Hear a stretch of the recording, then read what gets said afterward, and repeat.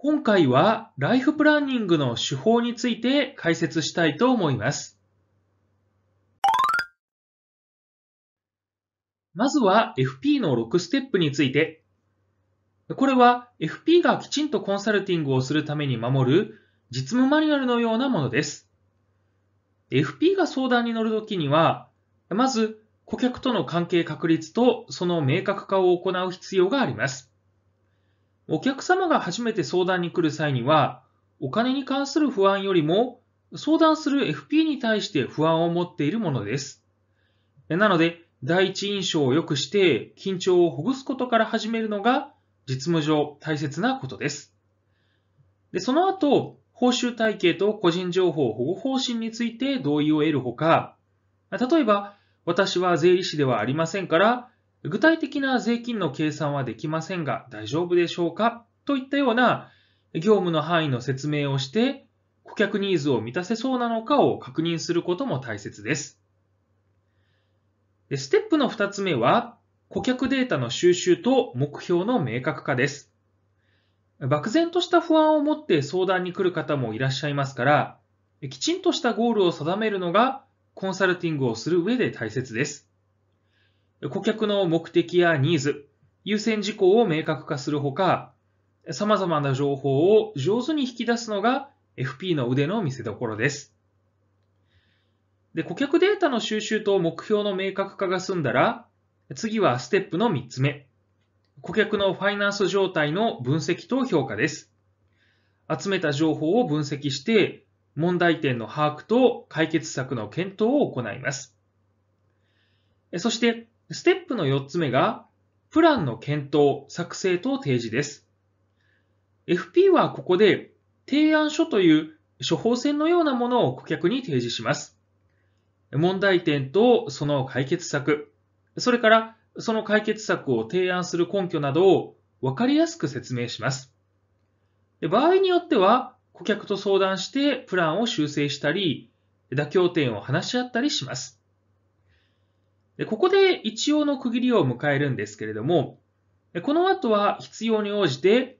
プランを実現するための金融商品の斡旋をしたり、専門家を紹介したりするなど、プランの実行援助を行う場合もあります。これがステップの5つ目です。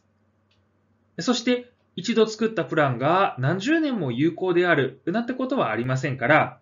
6つ目のステップ、プランの定期的な見直しも重要な手続きです。それでは続いて FP の6ステップを円滑に行うための3大ツールについてお話ししていきます。まずは、ライフイベント表について。これは自分と家族の予定や目標を時系列で書き出して、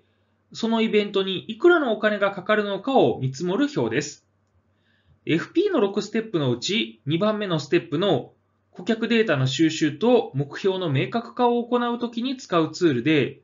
いつ頃どのくらいの費用がかかりそうなのかという大まかな目安が可視化されて、将来のイメージが具体化されるメリットがあります。ちなみに、将来の支出や収入は、物価の変動を考えずに現在価値で見積もります。なぜなら、これはキャッシュフロー表を作るための叩き台だからです。次はキャッシュフロー表について。これはライフイベント表をもとに将来の家計の収支と貯蓄額の推移の見積もりを可視化した表で、将来にわたる1年単位の家計簿の見積もりというイメージです。キャッシュフロー表を作ると、ライフプランの実現可能性を知ることができたり、万が一の出来事が起こった時に、家計にどのような変化が起こるかなどが分かったりするメリットがあります。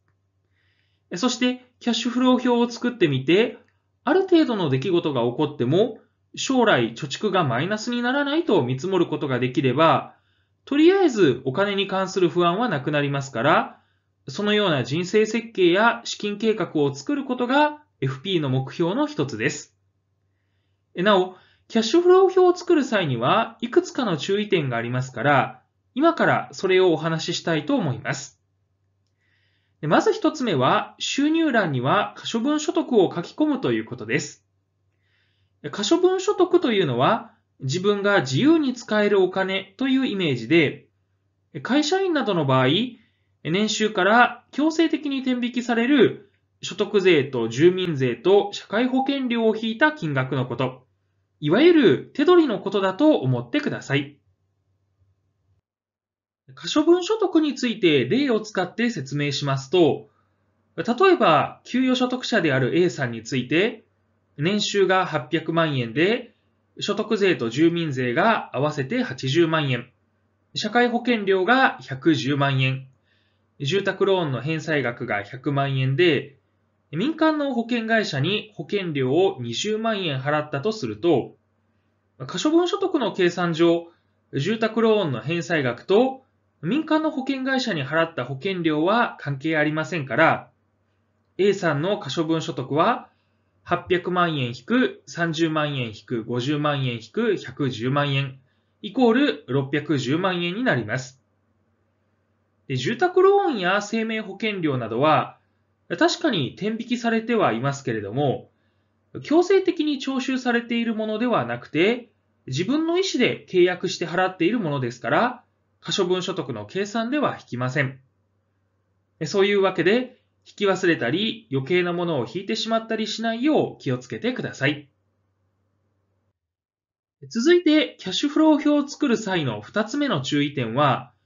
キャッシュフロー表で使う金額の見積もりは、将来価値を使うということです。キャッシュフロー表は、将来財布にいくら入ってきて、財布からいくら出ていくのかを見積もるものですから、物価の変動を考慮しなくてはいけません。そこで N 年後の将来価値は、現在価値に1たす変動率の N 乗をかけて見積もります。例えば、来年以降も今年と同じような生活をすると仮定した場合に、物価が毎年2%上昇すると予想するなら、来年以降に支払う生活費は、今年に支払う生活費よりも物価の変動分多くなります。例えば、今年の生活費が280万円であれば、1年後の生活費は280万円 ×1.02 で286万円。2年後の生活費はさらに1.02をかけて291万円。3年後の生活費はさらに1.02をかけて297万円という具合です。キャッシュフロー表を作る際の注意点の3つ目は、キャッシュフロー表で使う貯蓄残高の見積もりは、運用益を考慮するということです。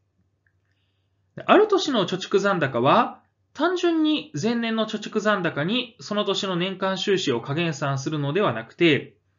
前年の貯蓄残高に運用利率をかけたものに、その年の年間収支を加減算します。公式テキストや画面の例を使って説明しますと、毎年1%の運用益を上げることができるという前提のもと、現在の貯蓄残高が1200万円で、来年の年間収支を709万円の赤字と予想するなら、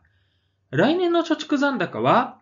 1200万円 ×1.01 引く709万円で503万円と見積もることができます。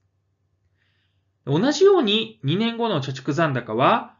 503万円 ×1.01 引く9万円で499万円と見積もることができます。そして3年後の貯蓄残高は499万円 ×1.01 引く9万円で495万円と見積もることができます。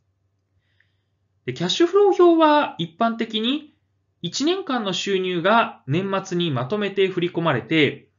1年間の支出を年末にまとめて支払うという前提ですから、